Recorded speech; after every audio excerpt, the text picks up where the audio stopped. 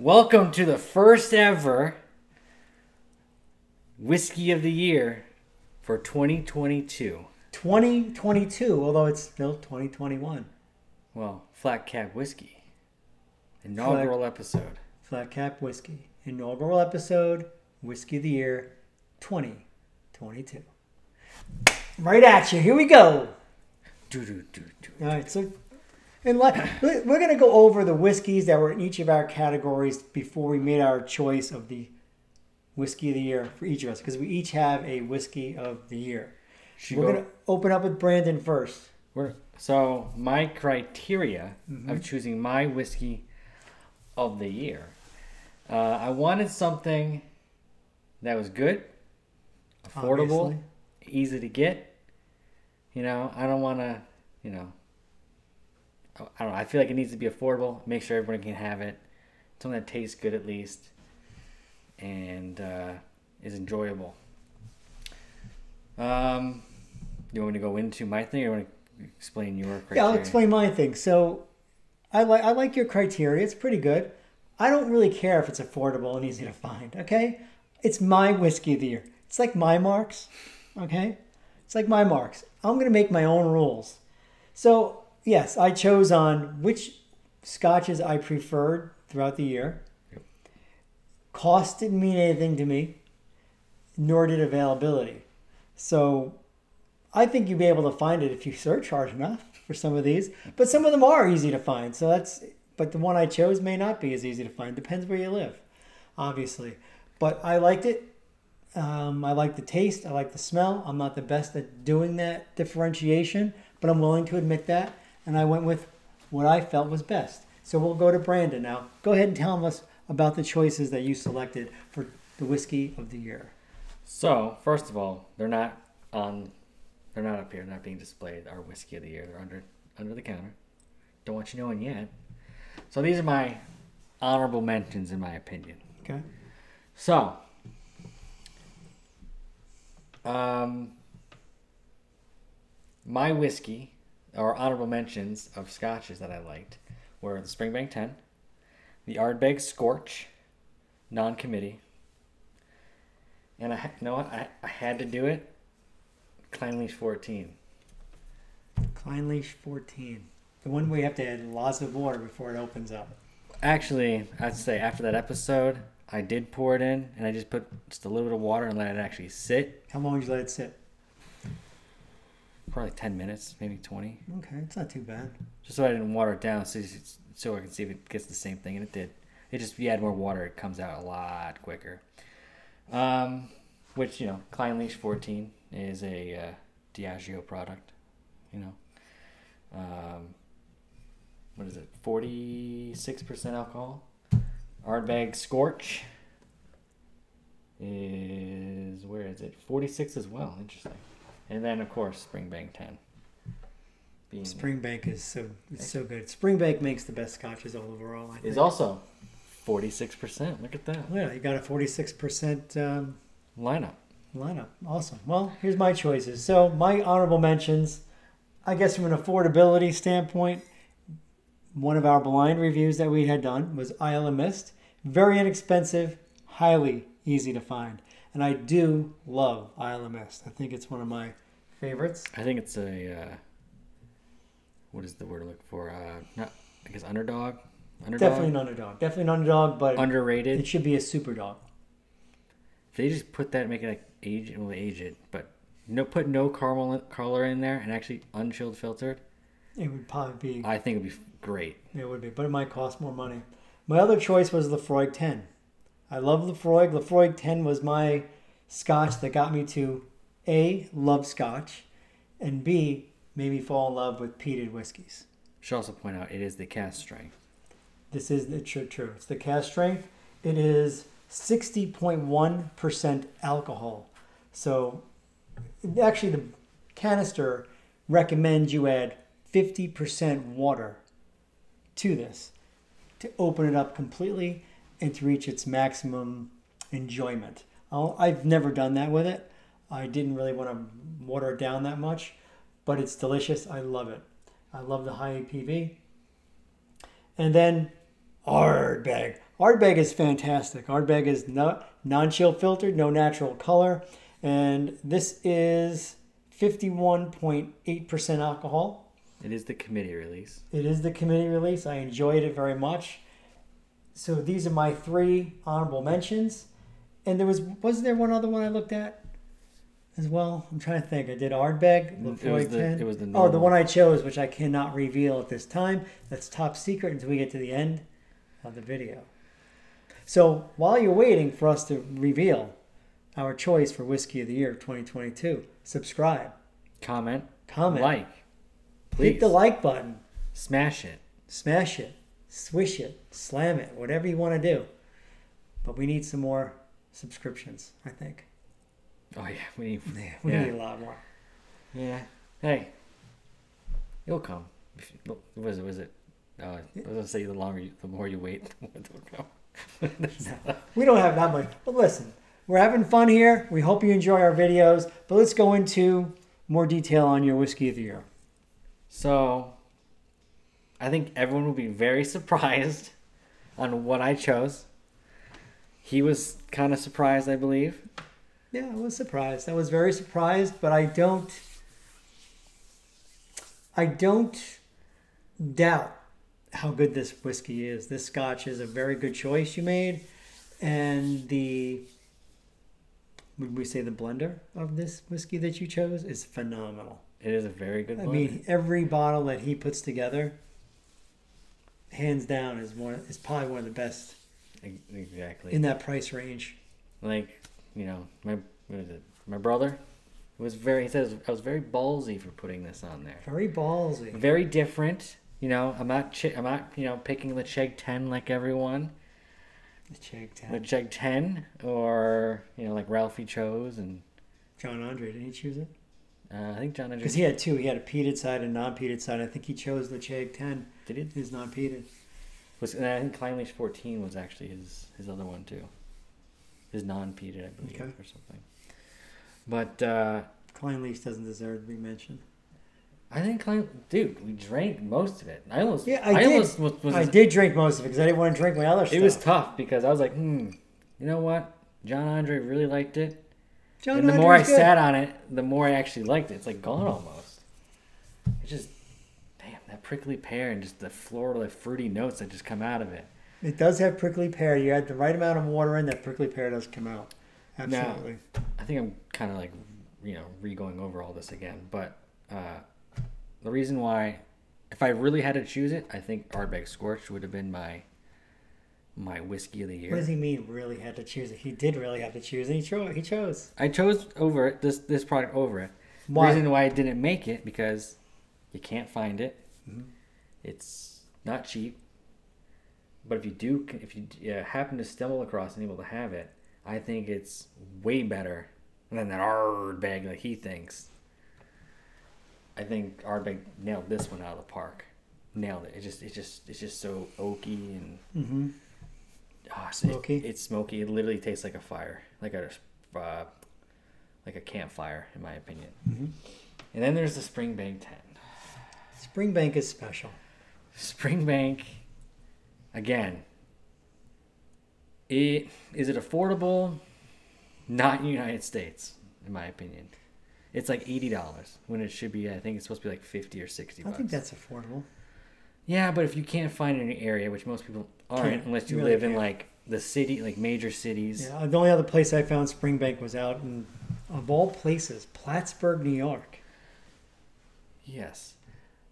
Um, but you know, every time you ask, you go to any any liquor store in your Mm-hmm. area and say, "Hey, can you can they can you get Springbank for? Uh, you able to get, like find your distributor and get Springbank?" And they Yep. first question, first thing answer they give is, "What's that?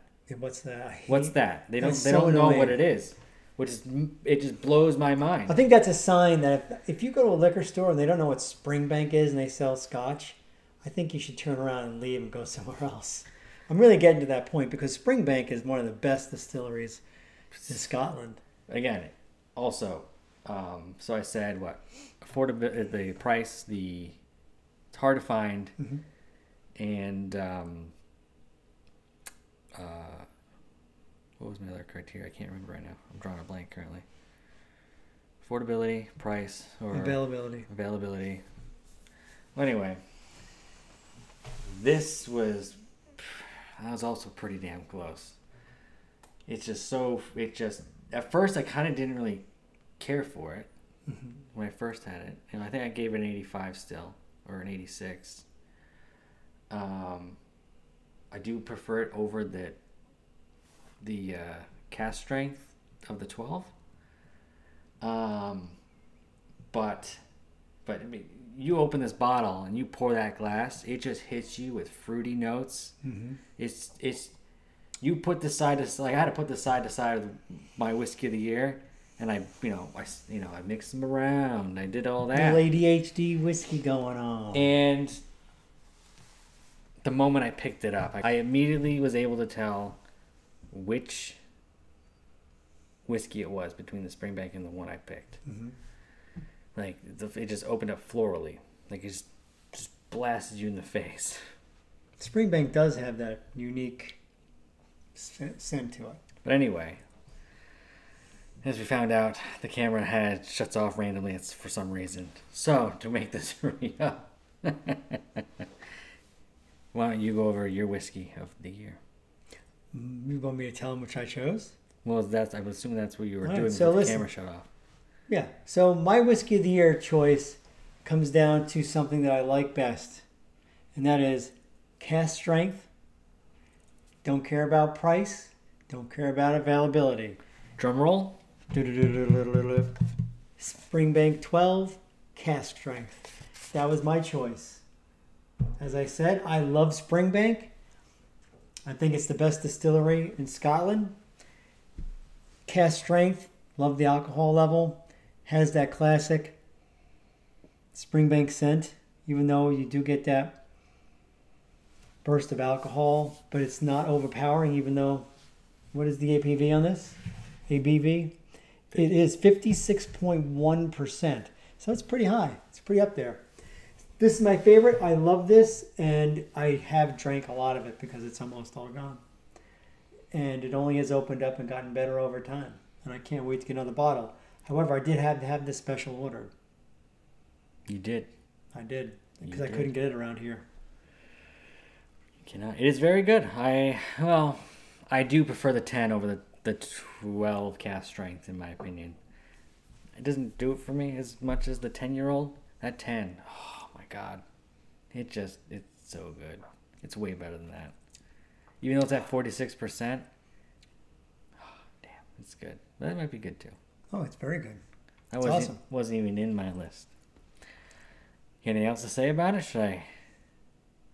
Well, have we? I can't Did you, remember. did you, what was the reason why you chose that over that, the cask strength of Freg and the Ardbeg? Hmm. I think the reason why I chose this one was because, to, for me, stepping out of the box is not going with the peat. Okay. the heavily peated scotches. Um, I but I love about Springbank, and I, I bet you I pick Springbank something every year. Moving on, my whiskeys of the year are gonna probably always gonna be Springbank. I love Springbank. It's very fresh. It's a very refreshing Scotch, right? Farmyard smell, tastes like like just freshly baled hay, right? It's just it's a gorgeous. If a Scotch can be gorgeous, it's Springbank any one of them. Absolutely. So I mean, I really don't have anything else to add other than I love Springbank.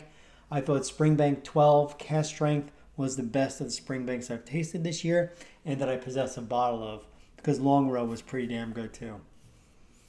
Well, I, don't know anything about one. Long Row 18, which I had late last no early early oh it was probably 2020 that I had it. It's been a while. All right. Your turn. His is good. Mine might be better. All right. Here we go. Here we go. This is where the comedy begins. Availability, price, taste. Hey, it's not, a, you know, it's not about quality. Sure it is. Well, it is about quality. sure it it's is. about quality. You know, not, not, what, what, what, what did John Andre say? It's just whiskey. He does say it's just whiskey. But again, he says uh, it's not about uh, no matter how much it is. No. What, is, what does he say? I don't know. He Oh my god, I'm butchering extent. this. Well, anyway, That's why you it don't always comes down to just you got it down pat. I know. Anyway, it's just whiskey, folks. It's just whiskey. But anyway, my whiskey of the year is pretty close. Pretty close nearby. Nearby the old Campbeltown. My whiskey of the year. my Malsey move. It was ballsy. I'll give him that. And I do love it. I do love this whiskey. This is a very good scotch. Anyway. All right. Let's go Take back. two. Here we go. So, my whiskey of the year is very close. You know, it's right next door. Wait, just right next door. What? But you didn't pick Springbank 10. Interesting. Hell, you guys didn't reveal Kilkerran, so what what did you pick? Well, my whiskey, my ballsy move, This ballsy move. is Get ready for the unveiling. Gauldrons. Gauldrons. Douglas Laing Gauldrons. He is a great, great blender. So, you'd be like, why did he choose a blend? Who chooses a blend? Who chooses a Single malt all the way. Actually, is this blended? Is this this is, should be a single blend? Single. It's it, definitely a Campbeltown. It's a it's a blend of Campbeltown scotches It is. right from dis- different distilleries. So it's We don't know exactly what distilleries it is. no. But anyway, during my review, when we were tasting it, I said, "It smells like there's Springbank in this." Definitely Springbank in there. It sounds like there's Springbank in there. Is there? Is there not? I don't know. But anyway, why did I choose it over that? Or why did I did not choose Springbank 10? Because Brandon's a commie. He Maybe. thinks it should be available for all. Not- As long as you can find it. Golden, it's just. If I had them side by side, I can tell the difference. Of course, you can smell the Springbank. You know, the floral notes. But when you just have this alone, after I finished the Springbank, I had this in my hand and we stepped away for a little bit. Like you could like you could smell kind of like this that's that Springbank those floral notes that I was tasting and smelling and nosing underneath the alcohol like very mm-hmm. low. It's like there. But I don't know. I mean, he's just it's just so good. And like this is a very good way of I think Let me if, try. if you can't find this, go for the Gauldrons. He's taking my glass. Yeah, it's very floral. But It smells great. It's a wonderful scotch. It really is. it's I think it's like sixty bucks. So you can find it for a little bit cheaper than the Springbank, and you don't have to pay shipping if they go out somewhere else. Mm-hmm. You can find it anywhere. You, you can't find it everywhere, but I, you I've, can, I've, you can I've probably seen it at least three or four local. I've seen it only one place, but uh,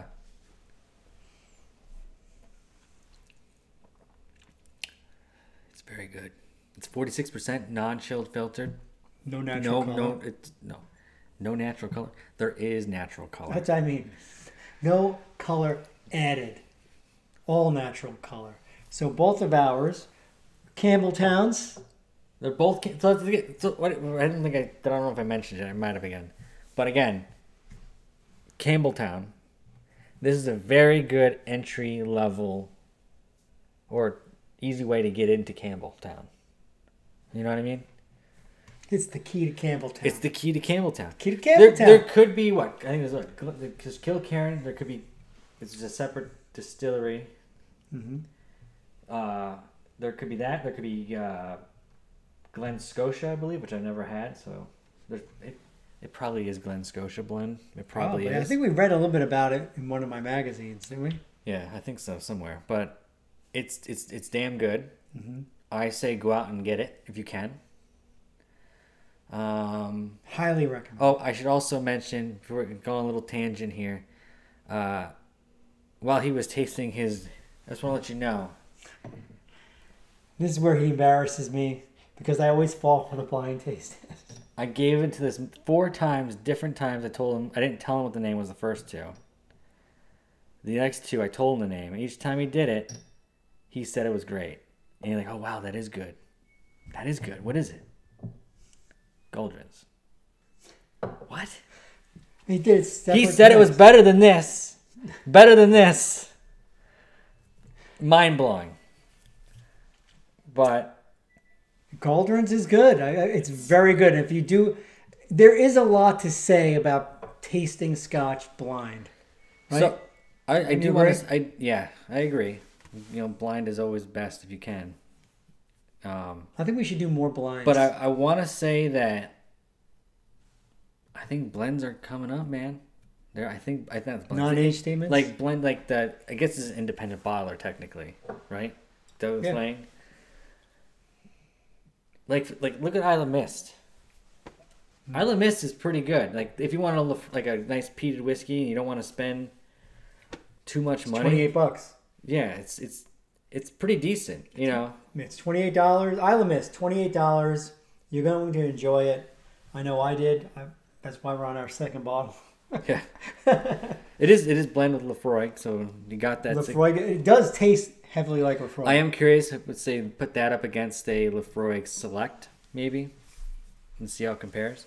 But again, independent ballers. I think, I think Douglas Laing is our favorite. Well, it's only I think it's only independent. well, we have three three of his bottles right now. We got Gauldrons, we got Rock Oyster, we got Rock Oyster Cask Strength, and Scallywag. Scalawags. We have four. But I haven't tried the. He he was hiding the cask strength. Because I don't want Um, him touching it yet. I'd like to try it. Well, anyway, Douglas Laing, keep doing what you're doing. Other distilleries, step up, man. Step it up. Step it up. And you'll keep the if you're gonna give us a non-age statement Scotch from Laphroaig or wherever, even like Bruichladdich has not. No, do they, no, they have age statements. Do they? Yeah, well, the class line doesn't have one. No. So uh, anything Some with non-age, but Laphroaig is Laphroaig has expensive non-age statement Scotch choices. Laphroaig Glore. It's not worth paying a hundred plus dollars for something without an age statement. I don't like that. So what about the Ardbeg then? The Ardbeg. The Ardbeg and the Scorch. You know, I can give Ardbeg a little bit of a pass, and I'm going to tell you why. Although I, I do agree with you. it doesn't have an age statement, but it's non-chill filtered.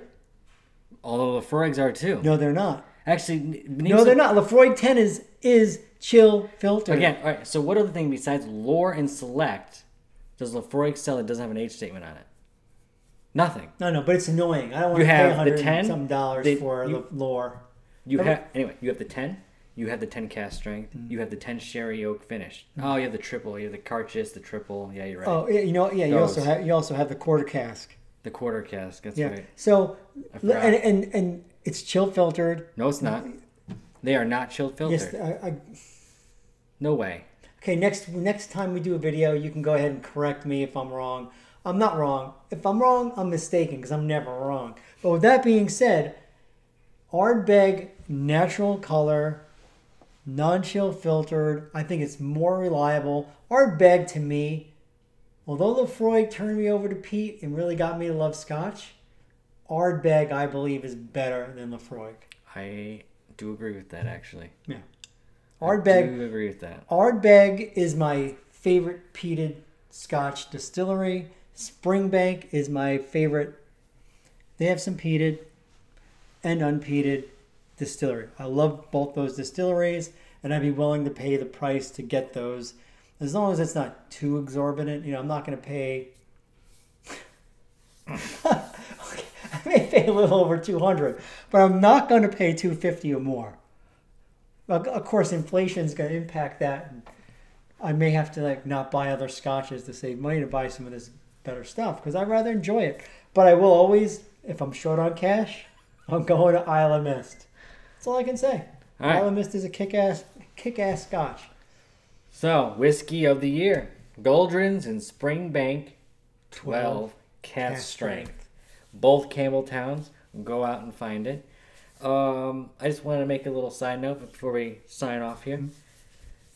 John Andre.